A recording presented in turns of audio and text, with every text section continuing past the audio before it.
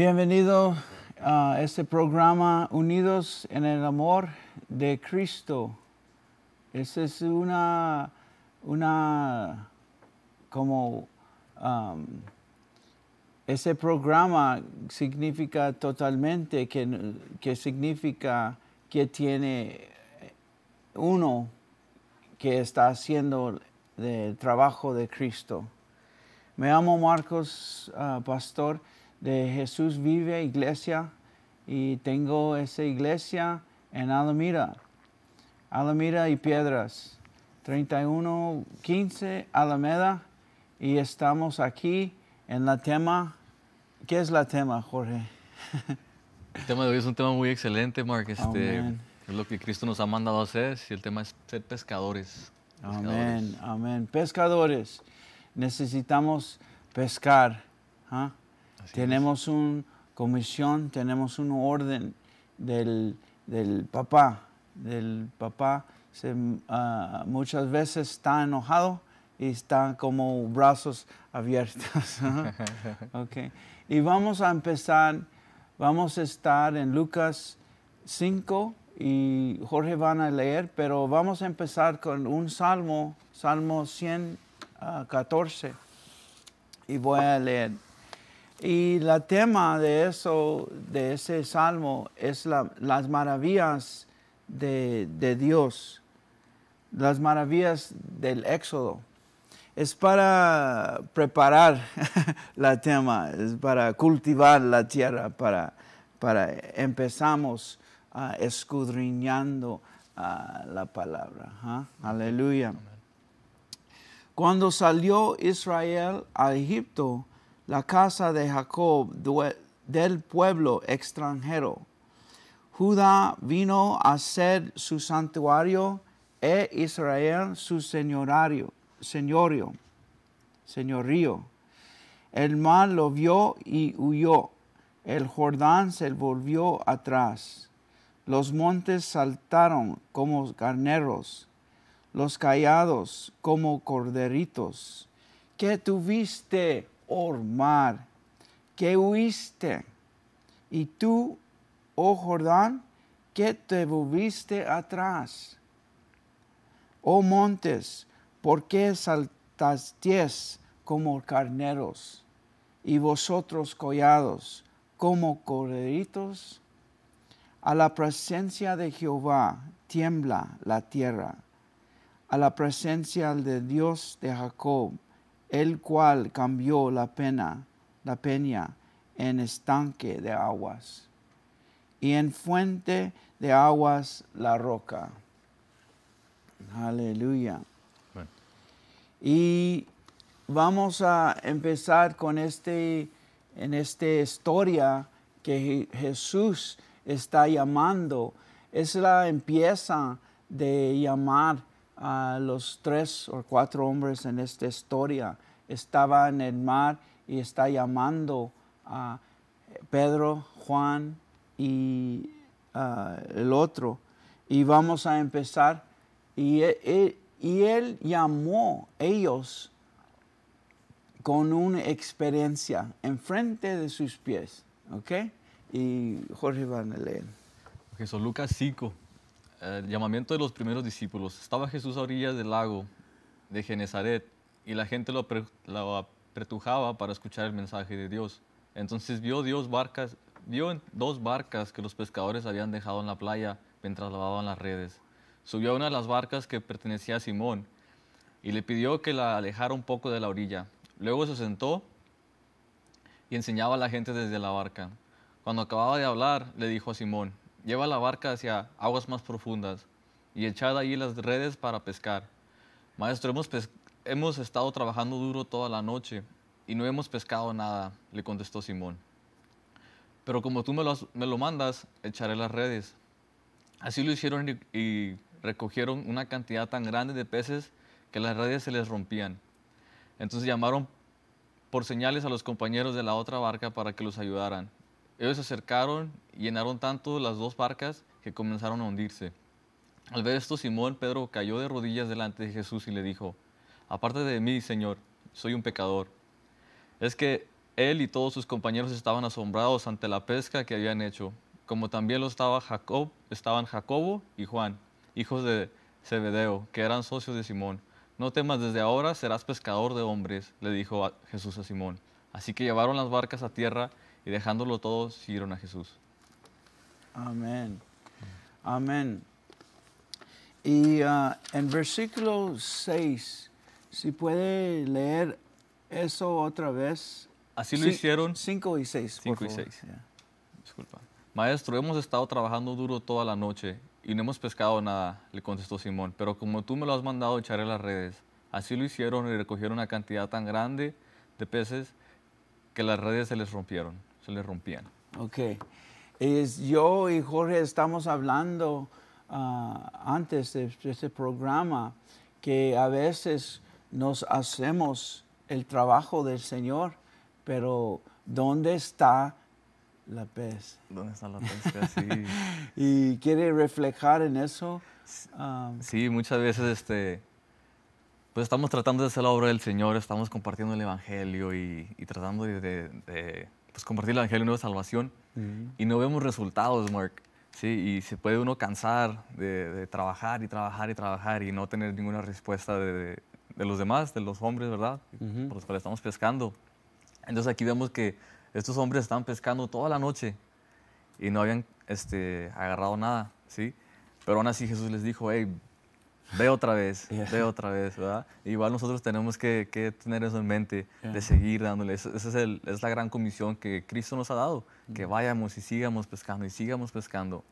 Y llegará el tiempo como aquí, ¿no? Que, pescaron mucho, entonces que nos vamos a hacer discípulos, ¿no? Entonces, es, la, es, lo que tomé de este pasaje, thus far hasta ahorita, este, que estos hombres estaban trabajando y trabajando y no tenían resultados. Y y cuando estás hablando, da otra vez. Otra vez, ah, Cristo nos da la gran comisión. Y da otra vez con la unción es diferente. Pero no sabemos dónde viene y, y cuándo viene esa unción. ¿Y sí? Y en Juan 3 dice, refiere al Espíritu Santo es como el viento. No sé cuál dirección van a pegarte, van a ayudarte, van a dar la fuerza. No sabemos dónde llega, dónde, dónde transforma, pero tenemos esa gran comisión, ¿verdad? Y vamos a, a leer eso, pero antes de eso, tenemos la, la, palabra para hacerlo. Y dice, ya tienes todo. Va, va. Como el, el, ah, programa que estaba antes, Lori está diciendo, va, va. Es, vaya. Es una confirmación de, de, nosotros en nuestro, nuestro tema, nuestra enseñanza. Y otro versículo y cuando él está diciendo en versículo 10, por favor, Jorge, 9, 10. Ok. Es que él y todos sus compañeros estaban asombrados ante la pesca que habían hecho, como también lo estaban Jacobo y Juan, hijos de Zebedeo, que eran socios de Simón. No temas, desde ahora sería, serás pescadores de hombres, les dijo Jesús a Simón. Amén. Y esto, ese, eh, ese se me um, realizó que no temas, porque ahora van a, agarrar hombres y no pez. Es una cosa materialística, materialista, materialista y es una cosa de carne. ¿Y sí? ¿Y por qué dice no temas ahora? Yo no sé. ¿Tú sabes? bueno, la, la, contesta de muchas personas dice, porque Cristo está diciendo, porque Cristo está ah, eh, Él le dio ese orden. Y de hecho en, en la Gran Comisión dice, y les aseguro que estaré al final de la Gran Comisión, y les aseguro que estaré con ustedes siempre y hasta el fin del mundo. Eso nos reasegura, ¿no? Que no temamos que Él está con nosotros hasta el fin del mundo. Amén. Y ese, cuando Cristo dice, Él, ese es el genio, Él sabe dónde, qué va a pasar, qué está, uh, you know, temblando el mundo, los montes y todo está pasando. Él sabe. Y cuando Él dice, es, es, es- es, uh, dinero en el banco. Exacto. Amén. Sí. ¿Y qué te parece si leemos la Gran Comisión? Sí.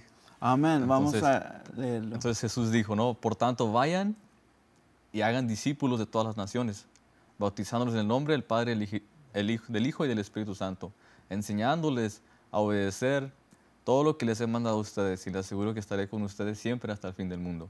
Entonces, tenemos que ser discípulos, Mark, ¿verdad? Mm, Amén. Y esto es difícil, la verdad. No es, pero bueno, mira, nos tocó la parte fácil, en otras palabras. Cristo ya pagó el, el precio en la cruz. Eso, eso fue lo difícil. Imagínate ser crucificado, ¿verdad? Y ahora nos toca hacer, hacer discípulos a nosotros y llegar al punto con un hombre de poder enseñarle más de Cristo y, y que Él está interesado y cosas así. Es difícil llegar a, a abrir esa, esa, esa puerta, ¿no? Mm, Entonces, ¿cómo llegamos a, a hacer eso? Entonces, aquí Jesús nos da el ejemplo de pescadores, ¿sí? Este, no sé cuántos pescadores hay ahí, ¿verdad? Pero yo no soy un experto, pero sé que cuando vas a pescar, mm. necesitas que ponerle la carnada, ¿no? A bait. Carnada. La carnada, creo que se dice Ok, carnada. bait. I tried to Google it Yeah. antes de venir, pero este, la bait. Amén. Entonces, pues a los pescadores les gusta que un gusanito, que cosillas así, ¿no? Mm. Entonces, tiras Para atractar para- el pez. Ajá, exacto. para atractar el hombre. Exacto, sí. Aleluya. Entonces, no sé, ahí las, hay muchas este, señoras que nos ven también a través del programa, ¿no? Entonces, ¿cuál es este, la, la carnada que estás usando tú para poder compartir el evangelio con, Aleluya. con la prima, con la tía, con la amiga, ¿sí? Y déjeme interrumpir, ¿ok? Que porque ese, ese, ese es importante y ese es eh, maravilloso.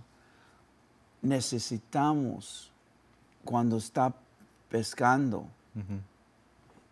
si no hay pez en su línea, necesita you know, regresarlo y también limpiarlo. Ah, ¿Y qué está de su, ¿cómo? ¿Carnero? ¿No es carnada? Carnada. Carnada. ¿Y qué está tratando en su carnado? Aleluya. Así es. ¿Ese es de Cristo? ¿O está usando Cristo? Porque necesitamos examinar es el carne, ¿cómo? La carnada, Carnada, la bait. El bait. Necesitamos examinar the bait. Porque a veces estamos atractando algo de, de pez, pero el pez está viejo o el pez está sucio.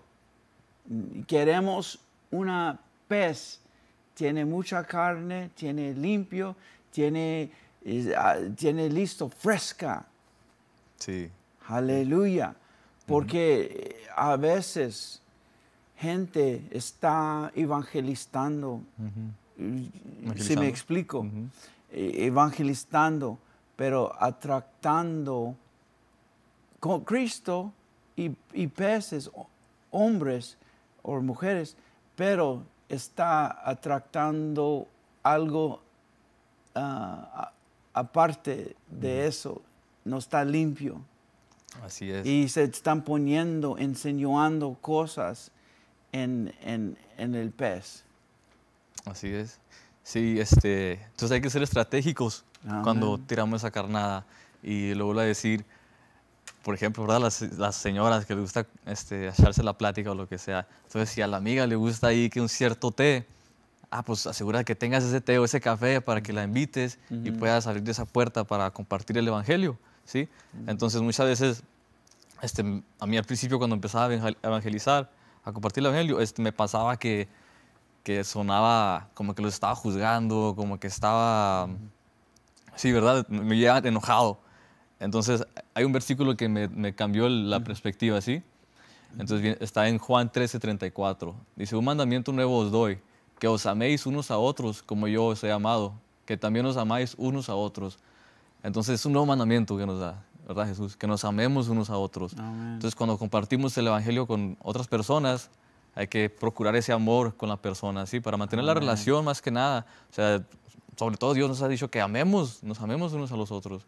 Entonces al compartir el Evangelio, al ser estratégicos, hay que hacerlo de una manera amorosa. Amén, sí, amén. que sea una buena carnada ahí con Amén. amor, que esté limpia, no Amén. pura. Amén, amén. Con amor, ¿ah?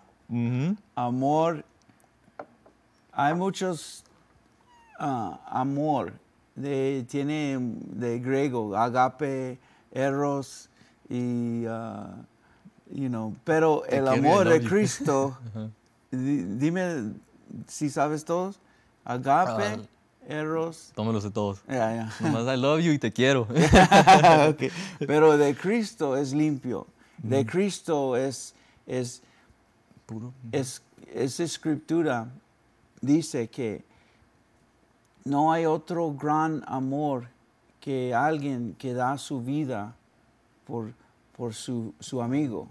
Y ese amor es, es puro y ya estuvo pu- purificada por la palabra de Cristo y por, por su acción, intención de su corazón. Y y de hecho eso lo vemos en, en Corintios con. Pablo.